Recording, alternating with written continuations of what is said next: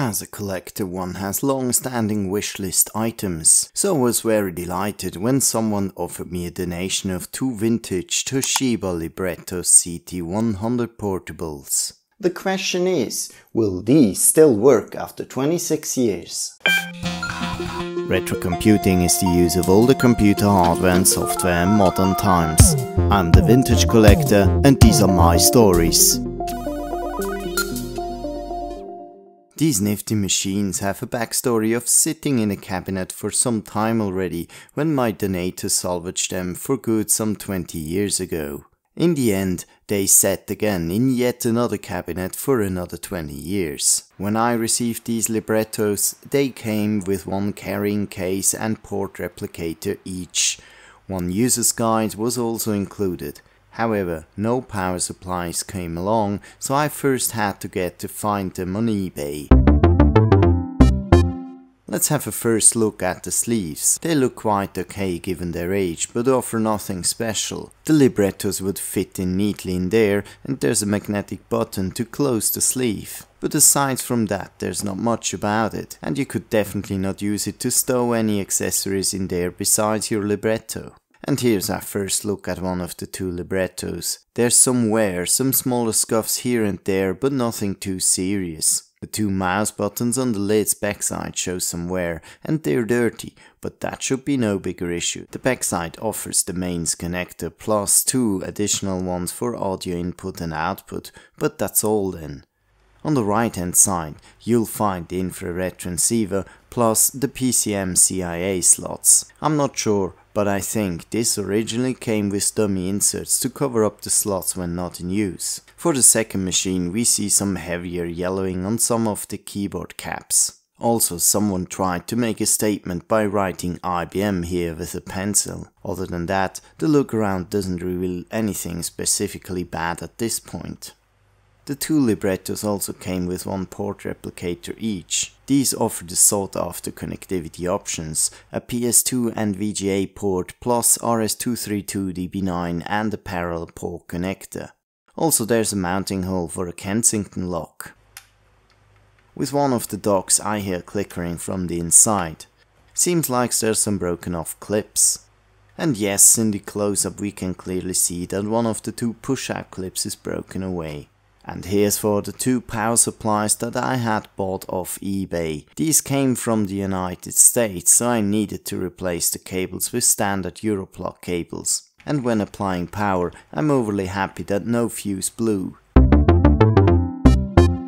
And now for the moment of truth. Let's plug in the first machine and see. I know it's hard to see from this angle, but pay close attention to the upper right. There's four LEDs, of which one was already lit up as soon as I applied power. And when I turn the machine on, the two left-hand LEDs light up as well. But apart from that, nothing further seems to happen here. Here's another try, this time with a close-up, again with the same result. What's interesting to note is I don't hear any hard drive spinning up. Maybe I should give it a shot with the second libretto then.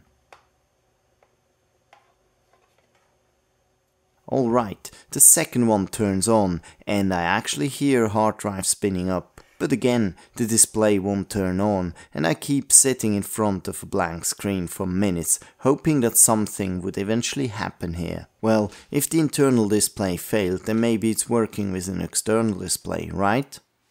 Right? Nope. While the port replicator has a VGA connector, I obviously seem unable to switch over to the external display. The keyboard doesn't expose any FN combinations and nothing like that is mentioned in the user's guide either. In there it's mentioned that you need to use some Windows software to switch to the external display. Well, this seems to become quite some problem for my further diagnostics. I would also try to illuminate the display using a flashlight. Would the display work, but it's just a matter of a broken LED backlight, then I might be able to spot something on the display. But no, the darn thing seems to be really dead after all. At least one positive thing to note. If I keep pressing some keys, the machine would be beeping back at me. This at least tells me that it must be stuck, at least on the BIOS level or during the post, and the beeps indicate that whatever I am doing is actually wrong. But without a working display, it's hard to tell what happens behind the scenes.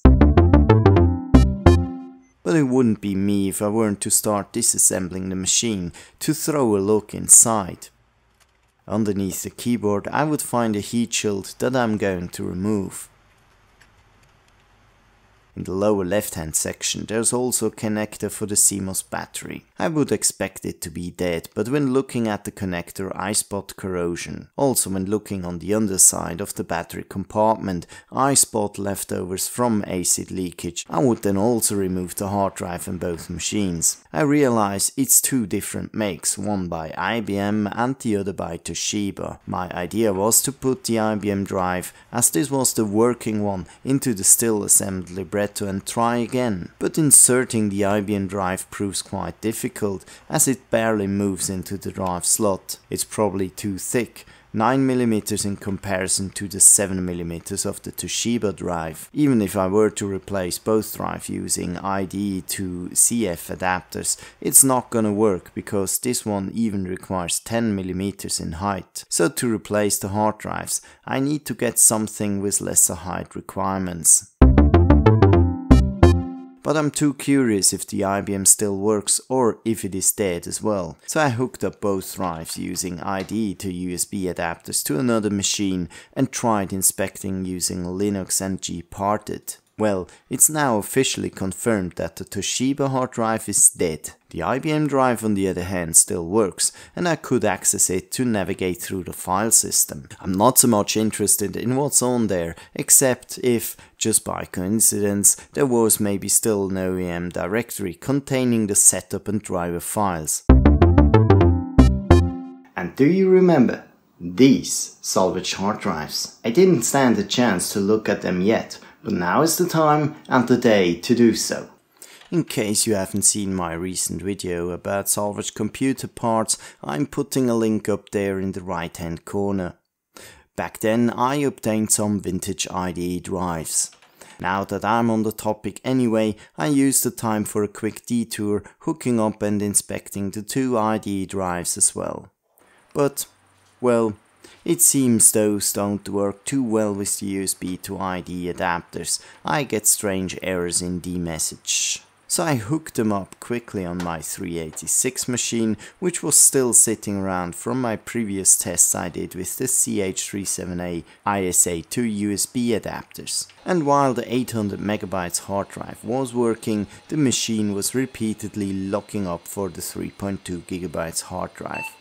Well, the latter didn't come as a surprise as such an old machine was very likely to not work correctly with such a big hard drive. Well, this was not so much a success, was it? The first inspection of the two librettos yields just problems. On the positive side, both seem to still work to the extent that power can be applied and the device can be sort of turned on. For one of the two machines, it's definitely a broken hard drive we have, while the second one seems to work. Still, both seem to suffer from a broken LCD, be that either the backlight or the entire display matrix. Now, where to get the Sharp LQ71Y03 replacements is an entire different question. Also, the CMOS battery for sure needs replacement on both machines, plus certainly some cleaning from acid leakage. At least the two power supplies I had organized in advance seem to be okay. Still, there's quite some work to go into restoring these subnotebook computers. And by the way, in case you wondered why I had now kicked off several series in parallel, this is how I'm actually working on several projects in parallel. I'm starting off by doing a first inspection and analysis to identify which parts I need to fix. Then I continue as soon as the parts have arrived. This way I can pursue other ventures in between while waiting for parts. And for you this means tension and eager anticipation for the next episode just after each cliffhanger. I'm looking forward for you to join me again for part 2. Thanks for watching and see you next time.